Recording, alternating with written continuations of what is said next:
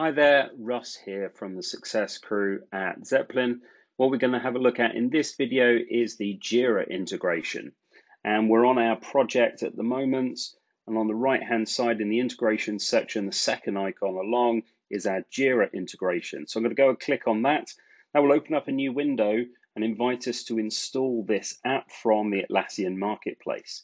Now, in order to do this, you do need to be an administrator for your Jira environments. So if that is not you, then go and speak to your uh, Jira admin and they will be able to install this. That's a one time only thing. So once that's been set up by your Jira admin, uh, nothing else needs to be done in the future. It will be connected to uh, Jira for you to be able to connect with Zeplin. Now, what I'm going to do here is show you one that I've already set up in the past because I myself am not an admin for our Jira. So I'm going to go and use the uh, Travel version 2 um, app build that we're working on. And uh, for this uh, project here, you can see I have a screen and this has already been connected to Jira. But I'll show you how this works anyway. Uh, what I can do is go into this um, screen and I can see Jira connections on the right hand side. Or alternatively, I can take a link to any of the screens that I'm working on. Alternatively, I could take a link to any of the sections that I'm working on because you can link screens or sections. Or alternatively, I could link to an entire project. And again, I would be able to do that just by right clicking on the project and accessing a link there.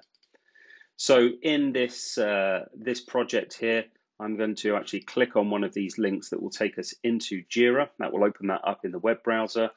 And this particular issue that I'm working on, as I scroll further down, I will see a number of screens already attached to this issue, including uh, one of the screens from the Travel V2 uh, complete project that I'm working on. If I wanted to add another screen, just at the top of the uh, Zeplin section, you've got attach from Zeplin.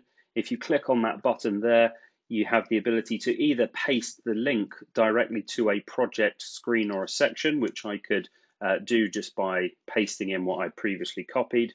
Alternatively, you can actually choose from any project sections or screens. If I click on projects, it will actually bring me up a list of projects that I've been working on. Uh, I'm going to go and select perhaps the other project that I've been working on in these videos, the Travel Website 2021 project. And in so doing, that will then attach that project, all of that project to this ticket here. And I can scroll up and down and see all of the things that are attached to this project, including my travel website 2021, which appears at the bottom.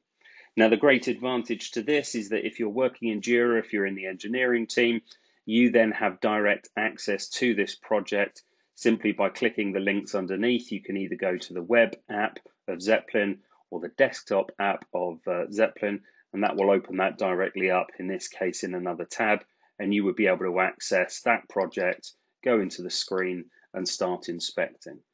So the Jira integration, really easy to set up. All you need to do is capture a link from the thing that you want to attach, go into the ticket or the issue that you're working on, click on attach from Zeplin. Alternative, we also have uh, the Zeplin logo at the top, which will navigate you and push you down to that section. And that is the uh, integration with Jira.